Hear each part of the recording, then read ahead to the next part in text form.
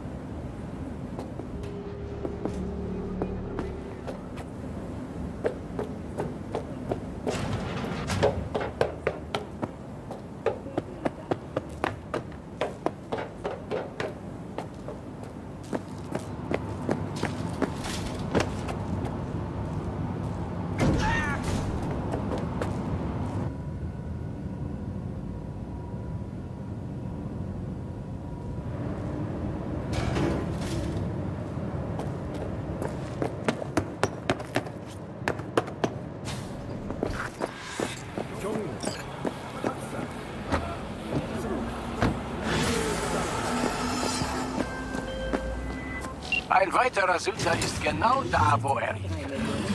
In einem Kofferraum. Gustavo hat bekommen, was er verdient. Vielleicht nutzt er ja die Zeit, seine Taten zu überdenken, ehe der Kofferraum sich wieder öffnet. Unser Vertrag ist damit erledigt.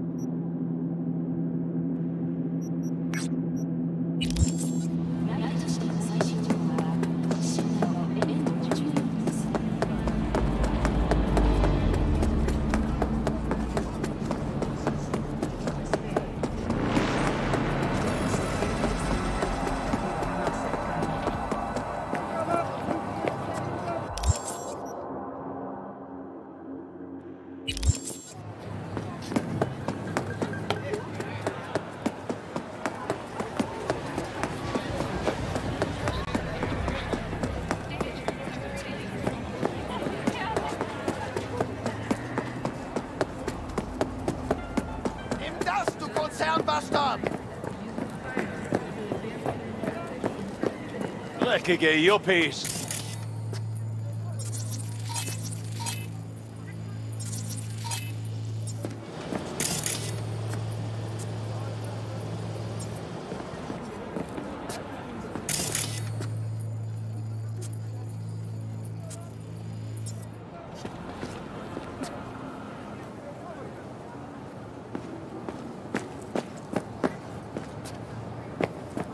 Hast du ein problema?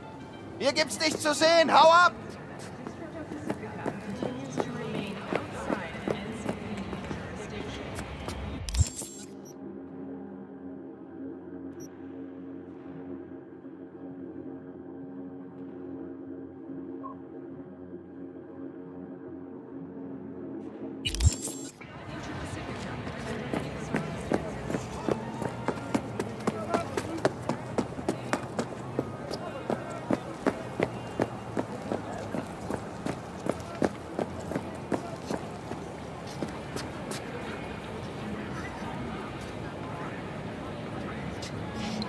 Was ist hier los? Ist das dein erster Tag in Night City? Wonach sieht's denn aus? Verpiss dich, du Made!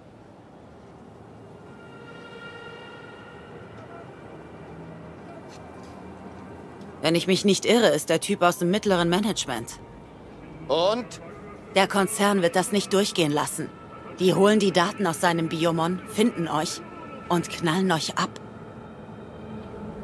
Ist mir auch klar, okay? Scheiß Konzerne stolzieren durch die Stadt wie heilige Kühe. Aber den hier lass ich nicht gehen. Das kannst du vergessen. Musst ihn auch nicht gehen lassen. Wenn du willst, dann mach ich ihn für euch kalt. Ach ja? Und was hast du davon? Weiß nicht, so baue ich halt Stress ab.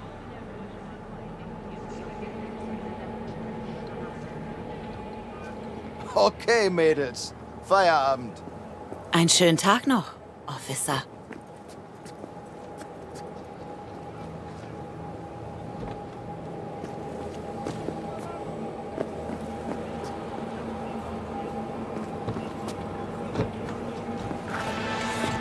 Steh auf und erstrahl im Glanz. Konzernschwanz. Oh.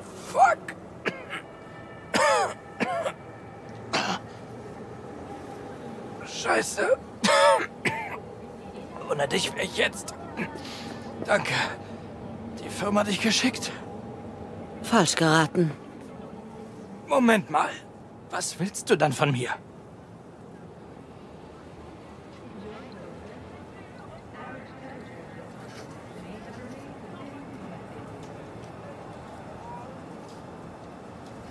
Kommst du da echt von selbst nicht drauf? Ich geb dir einen Tipp. Fängt mit Euro an und hört mit Dollars auf.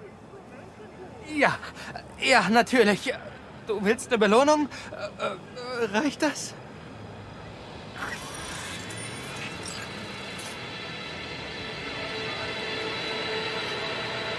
Du checkst es nicht. Lass alles rüberwachsen, was du hast, sonst bring ich zu Ende, was die Bullen angefangen haben. Okay, äh, hier. äh, Mehr, mehr habe ich nicht dabei. Schönen Abend noch.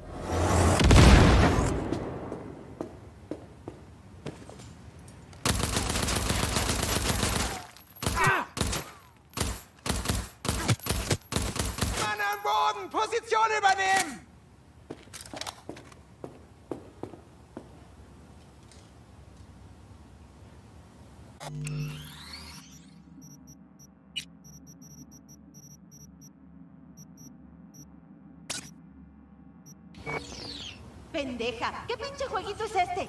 ¡Al carajo, órale!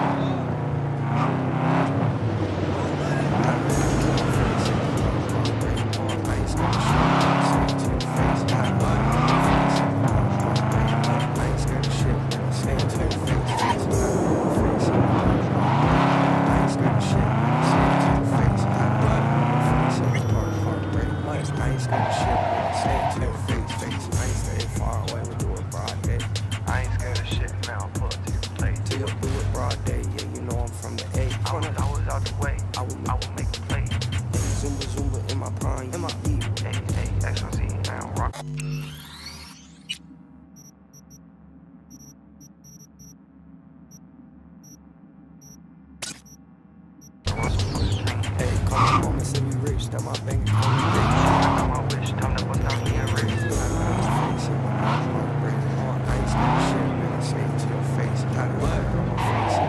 Heartbreak, what? I ain't scared of shit.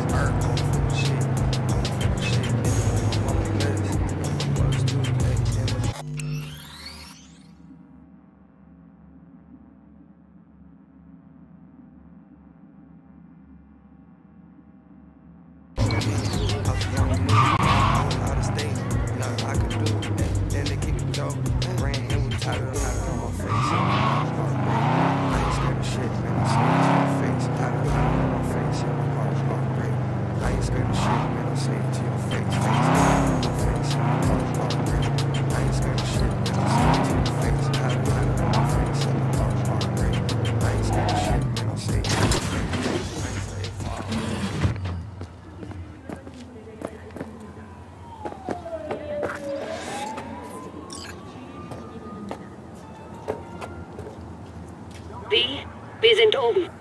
Danke.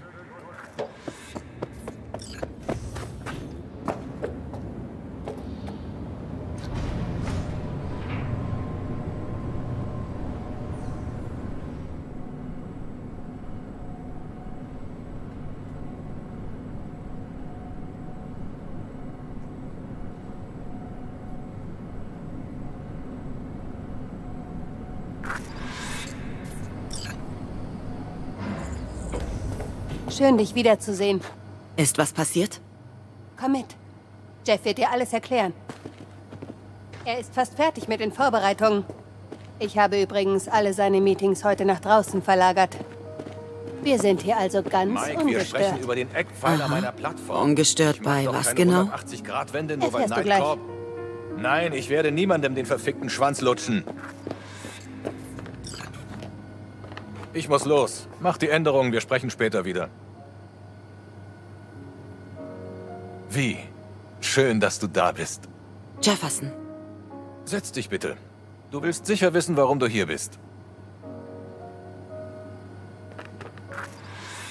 Es gab einen Einbruch, aber keinen gewöhnlichen. Was war so ungewöhnlich? Vor ein paar Nächten hat mich irgendwas aufgeweckt. Ein Geräusch. Ich habe meine Pistole genommen und habe nachgesehen. Da war ein Fremder. Sah aus, als wollte er eine Waffe ziehen, also habe ich abgedrückt. Abgeknallt? Ich weiß nicht. Plötzlich drehte sich alles und ich wurde ohnmächtig. Am Morgen war er weg. Du musst ihn finden und rausbekommen, was er wollte. Warum ausgerechnet ich? Wieso heuerst du nicht einfach einen Detektiv an? Ich halte mich lieber an Leute, die ich kenne. Keine schlechte Idee. Immerhin hast du das Rätsel um den toten Bürgermeister gelöst. Diesen Fall knackst du ganz bestimmt auch. Hast du das NCPD verständigt? Wir wollen jede Aufmerksamkeit vermeiden. Kein Laut nach draußen. Im NCPD gibt's genug Vögel, die für ein paar zusätzliche Eddies alles machen. Wenn wir einen Einbruch melden, fallen die Medien wie Heuschrecken über uns her. Keine Polizei. Kapiert. Natürlich haben wir SSI, unsere private Sicherheitsfirma, verständigt. Wie sah der Mann aus? Ich kann mich kaum erinnern. Es war dunkel. Aber er trug eine Art Maske. Oder ein Implantat. So genau konnte ich das nicht erkennen. Elizabeth hat ihn auch nicht gesehen? Ich habe die ganze Zeit geschlafen. Der Wahlkampf ist ziemlich anstrengend.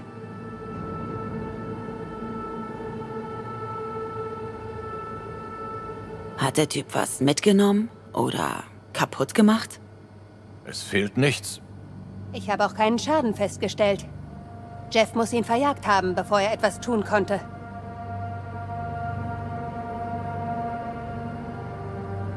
Du bist ohnmächtig geworden? Ja, richtig. Gleich nach dem Schuss. Und dann? Nichts. Ich bin morgens in meinem Bett aufgewacht, mit höllischen Kopfschmerzen. Irgendeine Idee, wie du ins Bett gekommen bist? Nein, keine Ahnung. Elizabeth weiß es auch nicht. Ist der Sicherheitsfirma etwas aufgefallen? Ja, aber ich kann mir keinen Reim drauf machen. Sie haben keine Spuren eines Einbruchs oder eines Schusses gefunden. Auf den Überwachungskameras ist nichts zu sehen. Der Wachmann hat auch nichts bemerkt. Sie vermuten, dass Jeff einfach nur schlecht geträumt hat. Die einfache Lösung. Liz hat SSI heute abgesagt, damit ich dich reinbringen kann. Was kannst du mir über SSI sagen? Wer sind die? Sie sind seit 15 Jahren im Geschäft. Sie haben Kunden in der ganzen Stadt. Ich glaube, sie wurden uns empfohlen. Von einem Bekannten. Glaubst du, SSI hat etwas damit zu tun?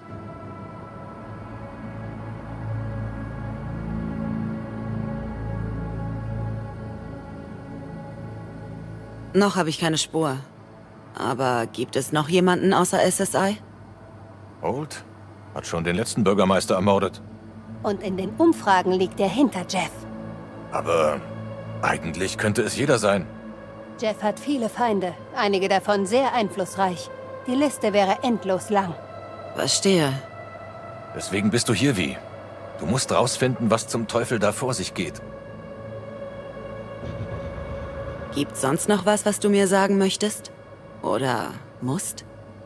Ähm, nein, das sollte alles sein. Liz? Das war alles. Und mehr werden wir bestimmt auch nicht rausfinden. Schatz, bitte. Wie wird bestimmt eine Spur finden? Gut. Ist das dann erstmal alles, was du brauchst? Ich würde mich gerne mal im Apartment umsehen. Natürlich. Liz führt dich rum. Ich muss zu einem Meeting. Meld dich, sobald du was rausgefunden hast.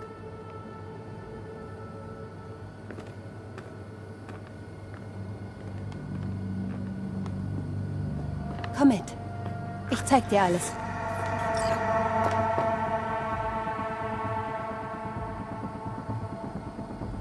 Bin direkt hinter dir. Fangen wir da an, wo Jeff den ungebetenen Gast gesehen hat.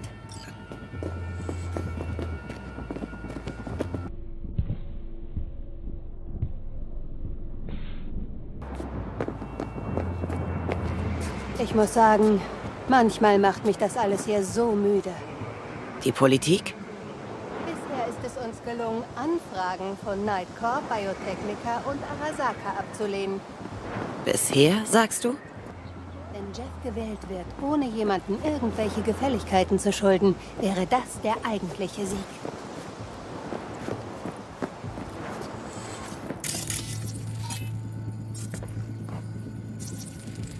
Schönes Familienfoto. Ist das eure Tochter? Sochi, ja. Wir vermissen sie sehr. Sie studiert im Ausland. Ah, wo denn? In Europa. Eine gute Uni. Eine hervorragende Aus... Hier hat... Am anderen Ende der Welt. Und auf ihn geschossen? Ist das... Genau. Direkt nachdem er aus dem Schlafzimmer kam. Hat er jedenfalls gesagt.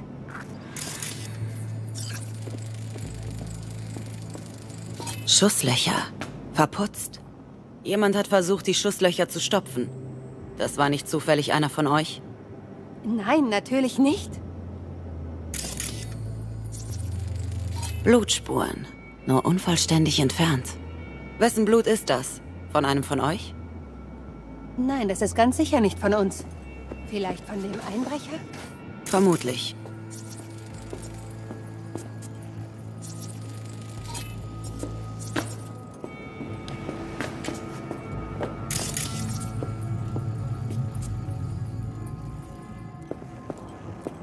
Kaputt? Vor ein paar Tagen ging er noch. Wir benutzen ihn aber kaum.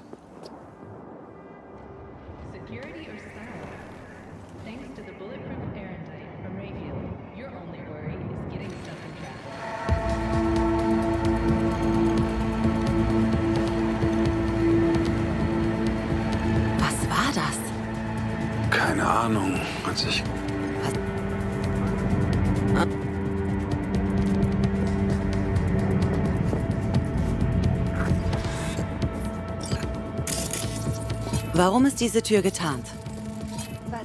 Der Scanner sagt was anderes. Hier, sie ist verschlossen. Hm, vielleicht von den Vorbesitzern? Nein. Vielleicht sollten wir uns ihr Büro unten angucken. Was zur Hölle? Wir können mit Sicherheit sagen, dass der Sicherheitsdienst hochverdächtig ist. Sie haben uns belauscht. Diese Hurensöhne. In meinem eigenen Haus.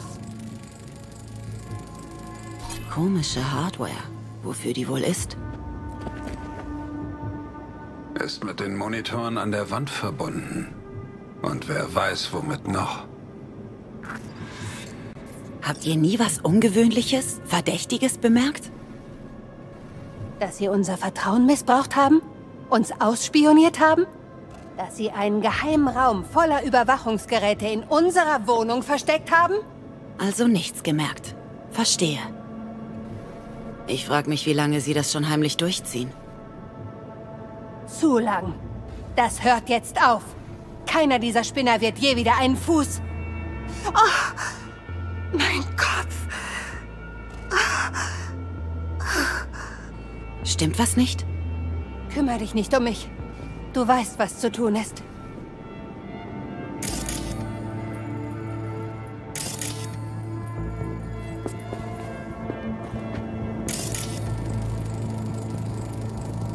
Metz. Ist der Einbrecher sofort hierhin, nachdem Jeff ihn erwischt hat? Führst du wieder Selbstgespräche? Das mache ich immer öfter, seit mich ein gewisser Terrorist stalkt.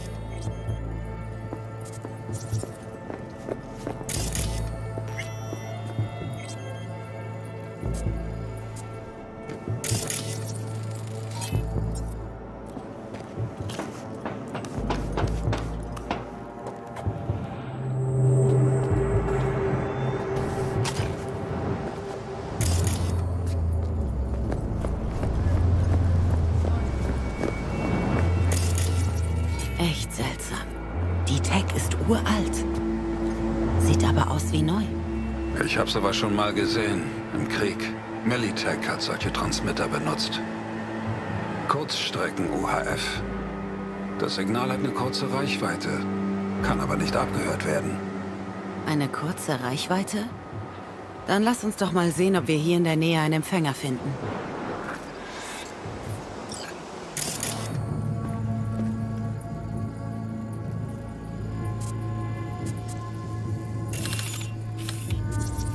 Ich sehe den Empfänger. Neben dem schwarzen Lieferwagen. Das muss es sein. Der Empfänger könnte bei dem Van sein. Ich frage mich, ob Elisabeth den Wagen kennt.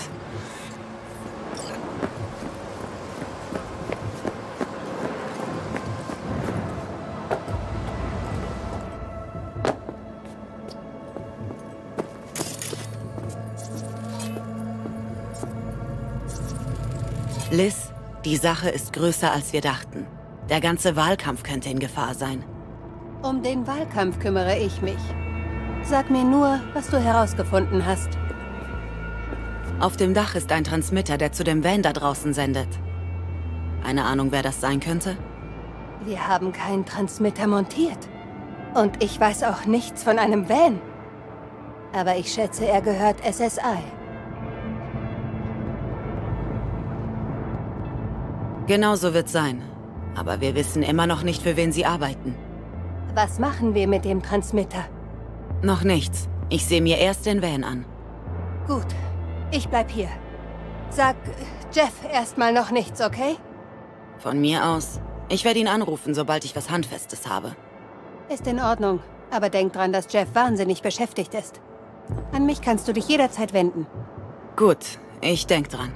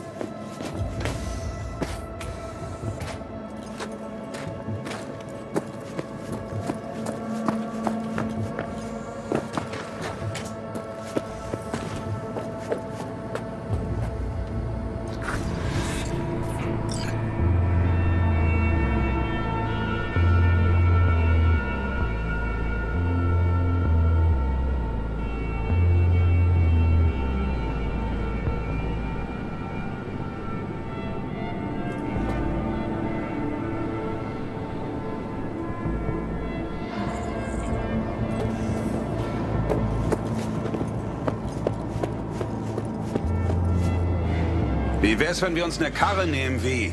Der Van haut uns sonst ab.